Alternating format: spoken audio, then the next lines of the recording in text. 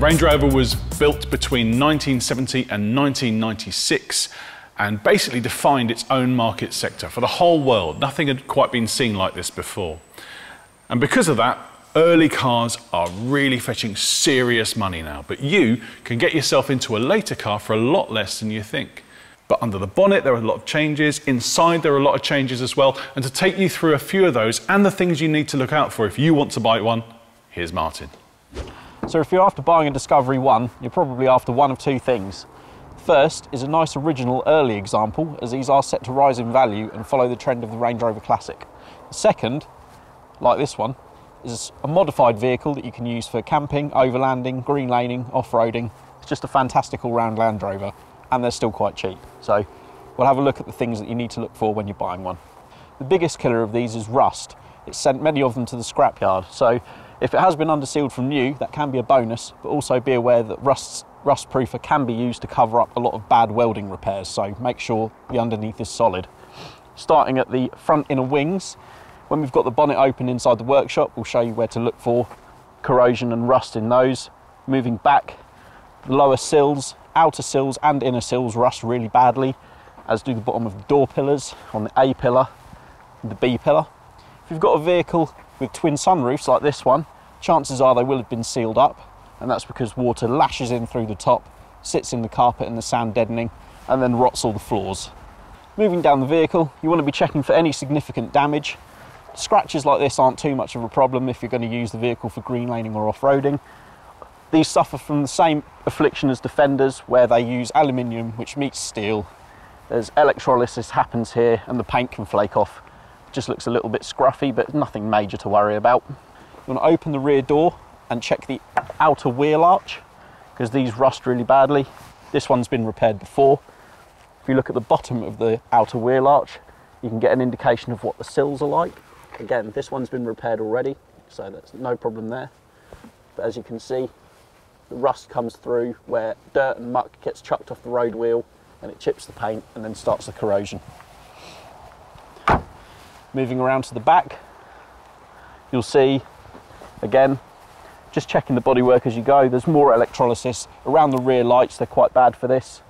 Paint chips off and it just looks scruffy. So again, not a massive problem if you're going to use the vehicle off-road, but if you're looking for a really nice original one, you want to avoid that. Moving around to the rear door, again, as with the fender, because these have the spare wheels on, the hinge is under a lot of stress. So just pop the back door open, give it a little rock to make sure there's no play. And whilst you've got the back door open, have a little look inside the shut line, just to make sure there's no rust in here because they readily corrode. And if the seller's happy for you to do so, peel up the mat or the carpet in the boot and have a look, check for rust in there as well, because they do rust quite badly in the boot floors.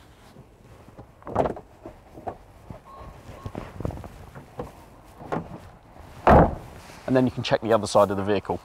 So now we'll head into the workshop and have a look underneath at all the rust spots you need to check for under there.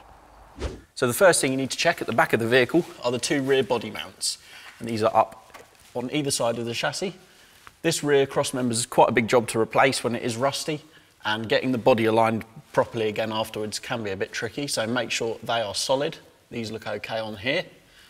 Most Discoveries would have had anti-roll bars fitted at the factory, but quite often they've been removed as they tend to limit axle articulation when you're off-road, so make sure they're still in place. Check for off-road damage on the rear axle, on the chassis rails. If it's knocked any of the paint off, that can start corrosion in the chassis, so make sure everything looks solid. As you get to these body mounts, make sure the metal around them is solid, the inner and outer sills on both sides. Moving forward further, just check the chassis rails are solid all the way along. And you'll notice, as with most Land Rovers, you'll get slight oil leaks around things like on the transfer box here. You don't need to worry too much about that, but if it's really pouring out, then you need to budget accordingly. Carry on forward. Again, anywhere there's a body mount, just make sure there's no rust around them. Inner and outer sills should be solid. Carrying on forward, have a look at the suspension bushes if it looks like they haven't been changed for a long time. It's not a particularly expensive item to replace, but it is time consuming, and quite labour intensive. So make sure they're in good condition. If they're not, when you test drive the vehicle, do some heavy braking, see if it pulls from side to side. Going forward further still, check the floors in the front footwells. If the vehicle has got sunroofs, there's a good chance that the carpet and the sound deadening will all be sodden with water, and that's what rusts the floors out. So give them a good poke, make sure there's no excessive corrosion there, because that's quite a big job to repair as well. Check the engine for oil leaks. Again, a bit of staining and light covering of oil is normal, but if there's anything really pouring out, take that into consideration because that will need to be fixed. And then right at the front, just check the steering, drag link and track rod. Make sure they're not bent, they look straight. And again, checking for off-road damage to the front differential pan. Make sure the steering box isn't leaking. If it is, there's a possibility the vehicle could fail its next MOT. So if it is dripping power steering fluid, just take that into consideration because it may need a full rebuild or you might get away with just changing one of the seals. And then right at the front, make sure if it's an automatic, make sure the gearbox oil cooler pipes are in good condition, haven't been crushed by anything off-road. Just give, have a general look around the front of the car, make sure everything looks straight. Again, front body mounts as well, and the inner wings. Make sure there's no holes or corrosion. If there is, again, budget for those repairs. So another thing to check are the swivel balls on the front axle. Make sure they're not leaking excessively, a little bit of misting is normal. But if the balls themselves look pitted or corroded, you need to budget for that repair because, again, it's a MOT failure if they're leaking excessively. Um, quite an involved job to replace those. So if you're not DIY savvy, then set aside some cash to have them done. So with the underside of the vehicle checked, we're now going to lower it down and have a look under the bonnet. So heading under the bonnet of the Discovery, if you're looking at a diesel model, you'll either be met with the 200 TDI, which has a green dipstick, or the 300 TDI, which has a yellow dipstick. Both are brilliant engines, very rugged, very hard wearing.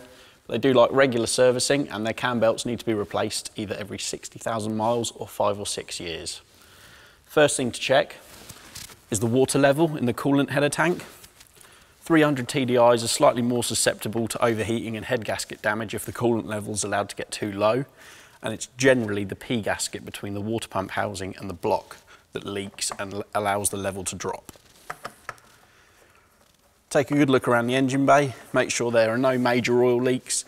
Again, they're old diesel engines, so there'll be a little bit of minor weeping and staining around the engine, but anything that's really dripping should be looked at. Check the power steering level. If the fluid's low or discoloured, or it looks like it's got air in it, there's a possibility the power steering pump could be faulty or there's a leak in the system somewhere. Whilst you've got the bonnet open, it's a really good idea to check the inner wings more thoroughly.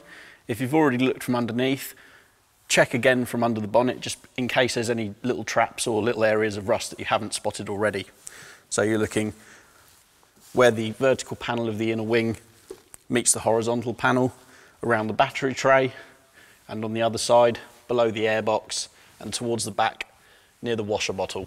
Check the condition of the brake fluid just wipe the dirt away and see if it, if it looks particularly dark, it could have been missed on service, so that can give you an indication of how well the car's been looked after. Also check the suspension damper turrets.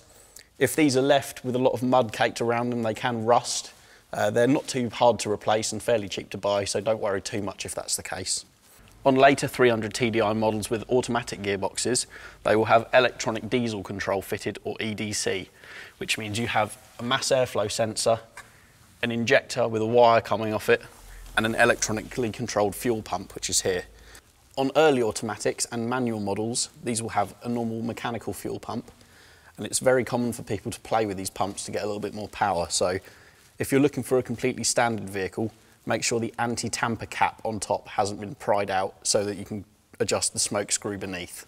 Finally, if the vehicle's been stood for a long time, it's possible that the valve stem seals have gone hard and brittle, so when you're driving the car, have a look in the rearview mirror. A little bit of black smoke is normal under hard acceleration, but if there's any blue smoke or white smoke, you need to be suspicious of that. If you're looking at a petrol Discovery, it's more than likely going to have the Rover V8 fitted. It'll either be 3.5 litre with carburetors on the really early models, 3.5 with EFI, or a 3.9 with EFI on the later versions. And these are all really great engines, but again, it's really important they're serviced on time. If they're not, you can get a heavy buildup of sludge and silt in the sump and in the top of the cylinder heads, which means lack of lubrication, worn camshafts and followers, and poor performance.